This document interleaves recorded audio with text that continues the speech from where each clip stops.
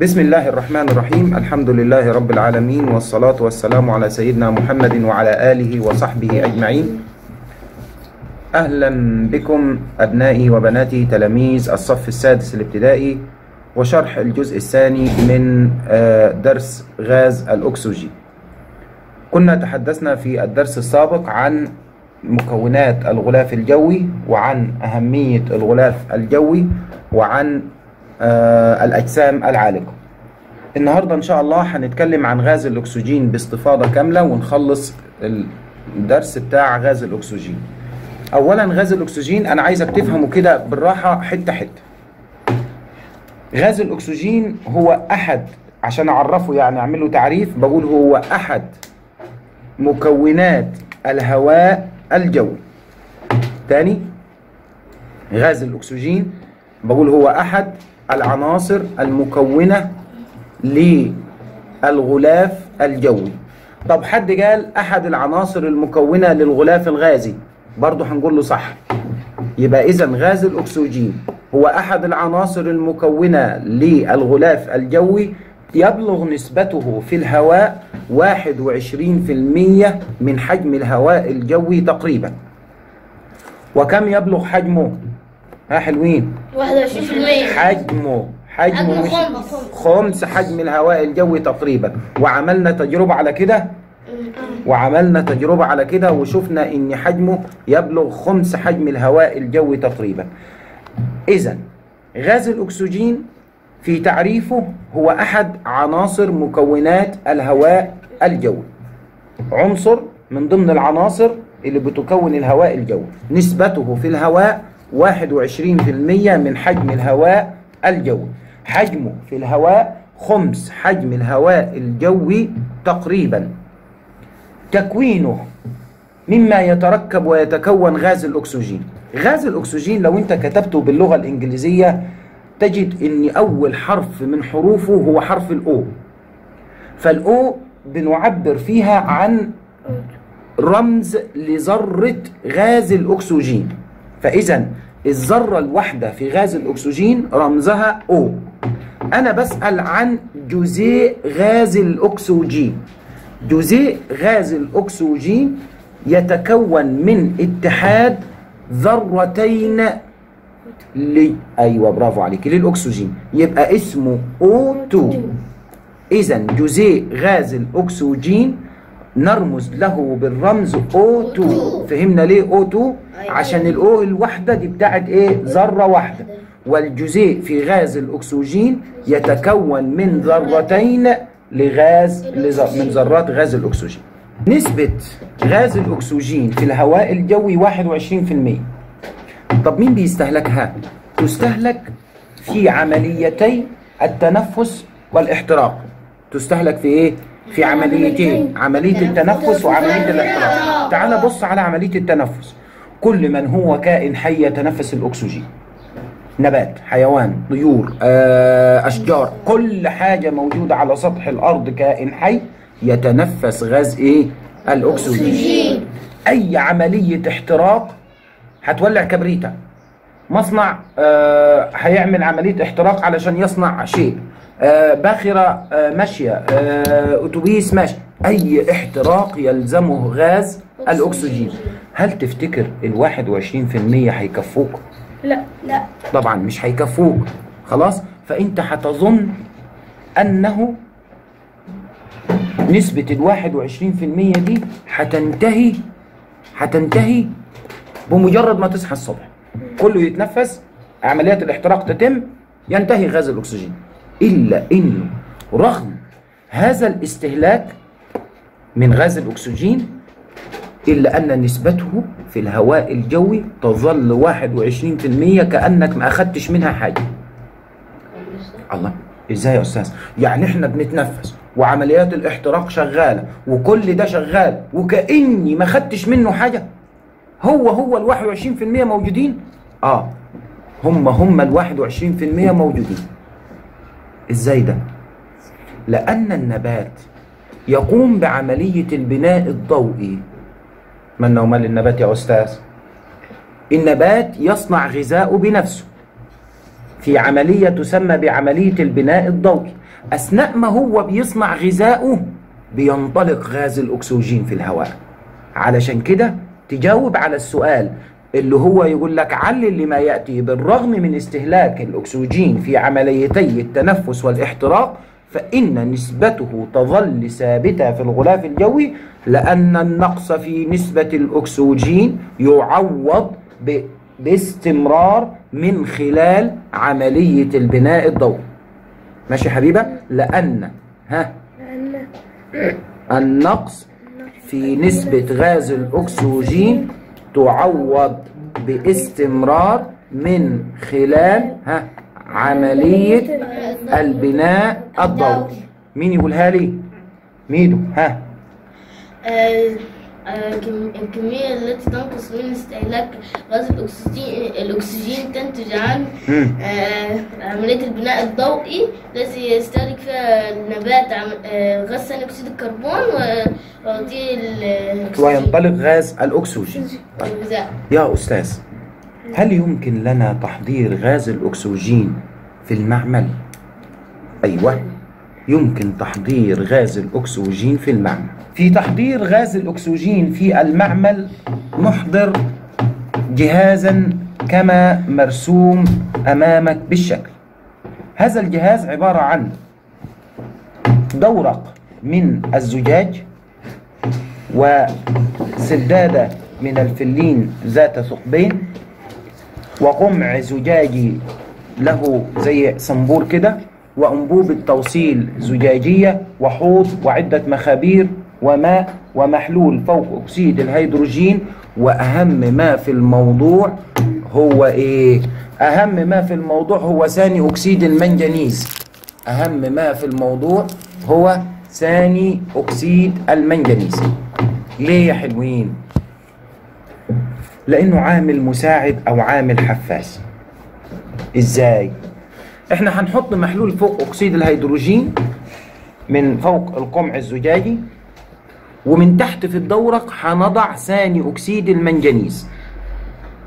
من تحت في الدورق هنضع إيه؟ ثاني أكسيد المنجنيز. بمجرد ما تفتح الصنبور لينزل محلول, محلول فوق أكسيد الهيدروجين على ثاني أكسيد المنجنيز ينحل محلول فوق أكسيد الهيدروجين إلى غاز أكسجين وماء إلى غاز أكسجين وإيه؟ وماء وماء خلاص؟ يبقى محلول فوق أكسيد الهيدروجين ينحل إلى ماء وإلى أكسجين المية هتكون فين يا حبيبة؟ في الدورة أما غاز الأكسجين هو اللي هيمشي في أنابيب التوصيل وتستطيع جمعه في مخبار في في الجهاز قدامك هتجد إن في حوض زجاجي به ماء ومنكس مخبار آه فارغ. هو المخبار ده إحنا كنا مالينه بالمية الأول فمليناه مية ونزلناه كده. خلاص؟ وأنبوبة التوصيل دي معدية من تحت. نجد بمجرد ما بتشغل الجهاز وتشغل التجربة بتلاحظ فقاعات من الغاز تتصاعد في أعلى المخبار والمية تقل. يعني كأنه بيطرد المية ويفضل مكانها. لغاية ما المية دي تنتهي تعلم تماما أن ملئ هذا المخبار بغاز الأكسجين. طيب هنعمل إيه بعدين يا أستاذ؟ هناخد المخبار ده باللي فيه ونروح نكشف عن الغاز المتصاعد. يبقى اولا هنكون الجهاز اللي شفناه ثم نضع كمية من ثاني أكسيد المنجنيز في الدورة ثم نملأ القمع بكمية من محلول فوق أكسيد الهيدروجين ثم نفتح الصنبور ليسمح بنزول كمية قليلة من فوق أكسيد الهيدروجين. على مين؟ على. على اللي هو العامل المساعد اللي هو ثاني أكسيد المنجنيز. ثم نغلق الصنبور. وعند امتلاء المخبار بالغاز نغلق فوهة المخبار ونرفعه من الحوض. تكفي ال- ال- الفوهة بتاعة المخبار وتطلعه بره الحوض. عشان تعمل إيه؟ عشان تكشف عن هذا الغاز. طب يا أستاذ هو محل ثاني أكسيد المنجنيز كان فايدته إيه؟ شوف. ثاني أكسيد المنجنيز ده دخل التجربة وطلع زي ما هو. لا قل وزنه ولا حجمه ولا اتغير في لونه ولا في شكله ولا في أي شيء. ثاني أكسيد المنجنيز ظل كما هو. ليه يا أستاذ؟ لأنه عامل مساعد. بيعمل إيه؟ يزيد من سرعة التفاعل فقط. يعني يخلي التفاعل. يمشي أسرع. بس. التفاعل يقدر يمشي من غيره. آه بس هو بيزود يزيد من سرعة التفاعل. ولا يشترك في التفاعل. ما يشتركش في التفاعل. واضح؟ ده بالنسبة لمين؟ لتحضير غاز الأكسجين في المعمل. يجيبوا لي على هيئة أكمل ويقول لي يتم تحضير غاز الأكسجين عن طريق نقط عن طريق آه، محلول فوق أكسيد الهيدروجين الذي ينحل إلى أكسجين وماء. يبقى محلول فوق الأكسجين ينحل إلى أكسجين وماء. طب يقول لي سؤال تاني. يعتبر غاز أو يعتبر ثاني أكسيد المنجنيز عاملا مساعدا أثناء تحضير الأكسجين ليه؟ لأنه يسرع في بص لأن محلول فوق أكسيد الهيدروجين ينحل إلى ماء وإلى أكسجين دون أن يتغير لا في خواصه أو تركيبه أو حجمه أو كتلته أو شكله أو أي شيء فإن فإذا أعرف العامل المساعد أو العامل الحفاز على إنه إيه يا أولاد؟ على إنه مادة تضاف للتفاعل تزيد من سرعته دون أن تؤثر في النتائج بمعنى إيه؟ العامل الحفاز هو مادة هتدخلها معاك في التفاعل بس مش هتؤثر على النتائج ولا يتغير خواصها أو كميتها إنما هي تزيد من سرعة التفاعل تزيد من سرعة إيه؟ التفاعل. التفاعل خلاص؟ وأنت شغال في التجربة هتملأ عدة مخابير هتملى لك شوية مخابير كتير كده من غاز إيه؟ من غاز الأكسجين منهم تستطيع الكشف عن خصائص غاز الأكسجين واستخداماته فأول خاصية من خصائص غاز الأكسجين أنه غاز خد بالك عديم اللون والطعم والرائحة. غاز الأكسجين غاز عديم اللون والطعم والرائحة. ماشي؟ رقم اتنين هو قليل الذوبان في الماء. أو شحيح الذوبان في الماء. لا يشتعل ولكنه يساعد على الاشتعال. هو ما. لا يشتعل. غاز الأكسجين لا يشتعل لكنه يساعد على الاشتعال. أثقل من الهواء. غاز الأكسجين كثافته أكبر من كثافة الهواء ولذلك هو يحل محل الهواء. هو يحل محل مين يا مروان؟ الهواء. محل الهواء يتحد مع المغنيسيوم المشتعل ويكون مادة بيضاء تسمى أكسيد المغنيسيوم نشوفها إزاي دي يا أستاذ في المعمل هنجيب شريط المغنيسيوم وإحنا عندنا مخابير ملي... كتير عملناها أثناء تحضير غاز الأكسجين هنضع اللي هو شريط ال- ال- المغنيسيوم داخل آه، مخبار الأكسجين نلاحظ توهج واشتعال ثم يتخلف عنه مادة لها رماد أبيض اللي هي أكسيد المغنيسيوم أكسيد إيه؟ مادة بيضاء.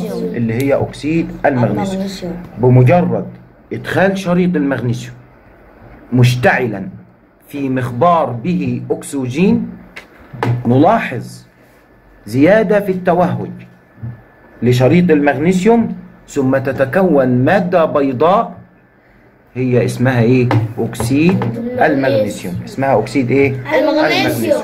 جميل. خد بالك. الأكسجين يتحد الأكسجين اتحادا مباشرا مع معظم المواد. بيتحد اتحاد مباشر مع معظم المواد. ويكون إيه؟ يكون أكسيد. يكون أكسيد. زي ما اتحد مع المغنيسيوم كون أكسيد مغنيسيوم. كون إيه؟ أكسيد مغنيسيوم. خلاص؟ إذا كان هذا الاتحاد مباشر كان اتحادا سريعا. وعلشان كده بيسمى احتراق. وعلشان كده بيسمى إيه؟ احتراق. إذا الاحتراق هو اتحاد المواد مع الأكسجين بسرعة مع انطلاق ضوء وحرارة. اتحاد الأكسجين مع المواد بسرعة مع انطلاق ضوء وحرارة أسمي ده احتراق. زي اتحاد الأكسجين مع المغنيسيوم كون أكسيد مغنيسيوم.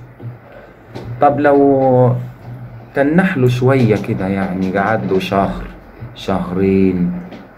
ينفع أقول كده إن ده اتحاد سريع ومباشر؟ لا. ينفع أقول عليه ده احتراق؟ لا. لا. أمال أقول عليه ده إيه؟ تأكسد. تأكسد. تأكسد. زي اتحاد ال- المواد مع الأكسجين ببطء في وجود الرطوبة أو الماء. اللي هو إيه؟ أنت عندك شوية حديد سايبهم قدام البيت. ومطرت النطر على الحديد وانت ما غطيتهوش. فجت المية على الحديد. بعد شهر بعد عشرين يوم بعد شهر ونص بعد فترة يعني بتبص على الحديد لقيت الحديد حصل له إيه؟ صدى. تكونت طبقة من الصدأ الله. هنا في اللحظة دي اتحد الأكسجين مع مادة الحديد ولكن ببطء. ولذلك أسميه إيه؟